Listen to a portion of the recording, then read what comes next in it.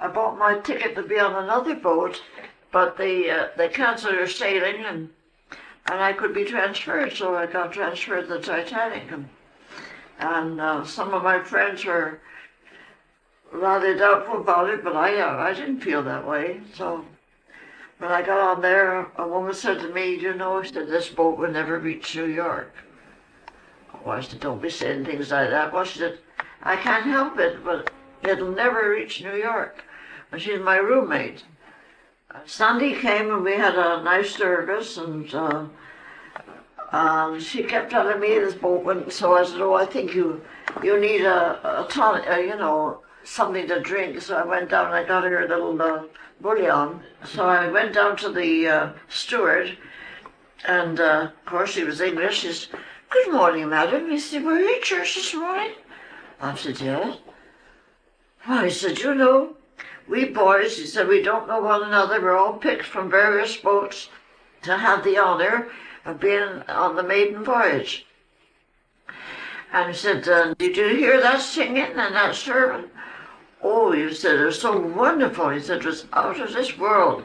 He said, in fact, I think we're too happy to last long.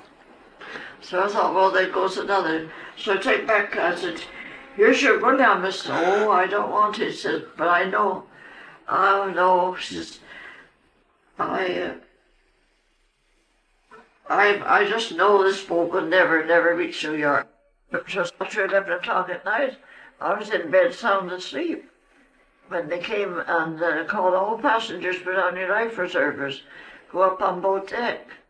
So I went up on boat deck and there was a lad there from Buenos Aires. I said, this boat's going to sing. He said, no, it didn't. He said, well, I said, this Miss Keane keeps telling me it never reached New York.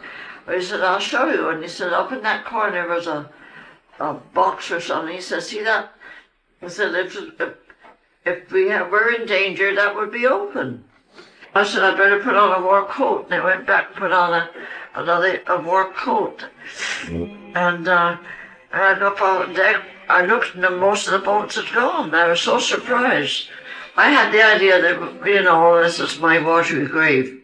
The captain was there and he said, stand back. The men were, men and women there. And he said, women and children only. And there was a man there with a baby in his arms. And he said, well, he said, I don't want to be saved, but we'll save this baby. And uh, no one offered, so I said, well, I will. So me, oh, you're foolish to save a baby. So I thought, well, I always do foolish things. So I said to the officer, if I save a baby, I said, what'll happen? Oh, Mom, he said, the White Star Line will take care of both of you. As much as to say, why do you ask? So when you go in the lifeboat, I said, yes. So the lifeboat was there, it was lifeboat 13.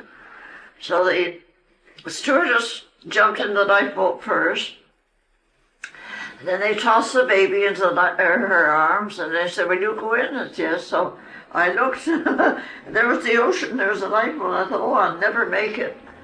But I I jumped and I got in there and I hurt my ankles, but anyhow I made it. There was a light in the distance. The captain said, "Now, men, uh, row to that light, empty your boats, and come back and pick up more passengers." So our men rowed and rowed, but we never could make that light. I couldn't take my eyes off it. You see her going, her lights are all lit and see them, each row of light disappear, each row of light disappear. Finally she went down. The scream when it, when uh, finally she went down, that scream was worse than any siren.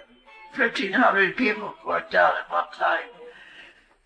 We were in a school of whales. We had open time we thought our boat would be upset, you know. And the uh, man that uh, manned our boat, he didn't have a hat. So somebody gave him a cap and he made a knot here and two knots here. He looked very funny. Finally, we saw the berg that did the damage, and then a, a boat came. And the boat was the Carpathia, and it picked us up. We get on the Carpathia, and it took us four days to get to New York. And the uh, captain, as soon as we got on board, he had a, um, a service of thanksgiving for the living and a memorial service for the dead. And people were dying on board, and we had uh, barrels at sea, and we were in the School of whales, and it took us four days to get New York, and it wasn't anything to be proud of.